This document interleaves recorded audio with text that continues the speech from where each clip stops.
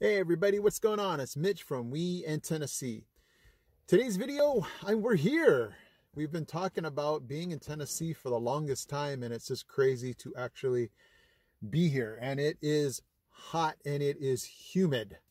What's funny is um, people have said that like two weeks ago, the weather was perfect and all of a sudden this heat wave came in. So it is crazy. Um, as soon as I get out, these glasses will probably fog up. Um, we had the air conditioning going on, so it was super cold. I get out and they're just condensation everywhere. Anyway, this video is going to just be an update and then the four things that I have learned about Tennessee only being here for four days. Um, so the update is, you can see in the back here, um, we loaded up that U-Pack and we had to load up the cars because we just I don't know. If I could go back, I would change the way I packed the U-Pack. We could have put more stuff in there and we loaded up the U-Pack and then realized, hey, we had a lot of stuff in the house to still put in the cars. So the number one thing that's really tough right now is living or driving with all of this stuff here in the back. Um, it's really tough uh, to just live with all this stuff in there. You know, you're, you're, did we forget this? Where's this? Oh, it's in the car and we have to dig for stuff like that. So that's been one of the tough things. Um, the other tough thing is just living out of a suitcase. Luckily, we're at this Airbnb where we actually can spread out and not have to live in a hotel. Um, it, it's, it does the trick for now. Um, but obviously having a permanent location would be awesome. But for now, we're just luckily, you know, we're just happy to not be driving hundreds of miles a day and lucky to not be living in a hotel. So it's nice to be in this Airbnb. We're in Knoxville right now. So the four things I can say I've learned about Tennessee for being here for four days is number one, the driving is definitely not as I expected. The driving is actually a little crazier than what we left in California. I mean, people are just zipping everywhere, um, cl following close behind people. Um, I don't know. I just thought it would be a slower type pace, but right now it's just people are zipping by everywhere, and that's something I did not expect. Uh, the second thing I've learned is that the roads are pretty narrow.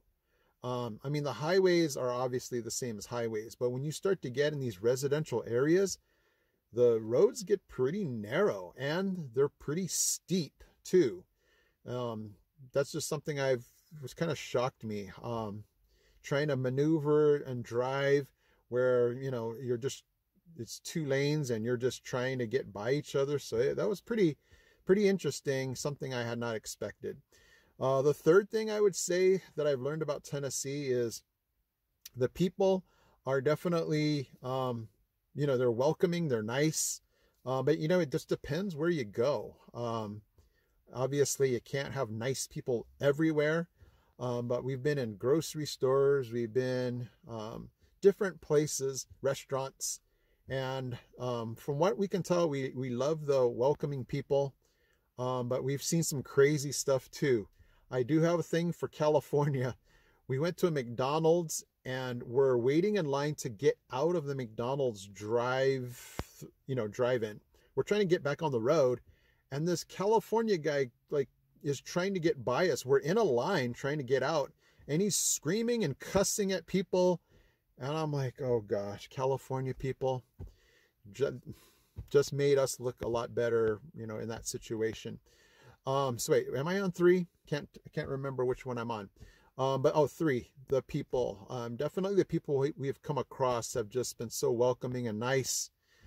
And then the fourth thing is we've just loved the things we've not seen before. We've loved the fireflies. Um, you know, the, we we don't normally see that in California. That's an East Coast thing. So when it's just just about dusk, we see the the lights flashing on the grass. We've seen a cardinal already. We've I we don't see cardinals on the west coast so only the trips that we've taken to the east coast have we seen cardinals so it's really cool to see some of the things that we've seen um, And then definitely Google Maps has been our friend. Um, everything. It's just stressful to drive because we just don't know where everything is. So for those of you that are going to be coming to Tennessee and just have those those Google Maps ready because everything that you need to find, you're having to punch into your phone.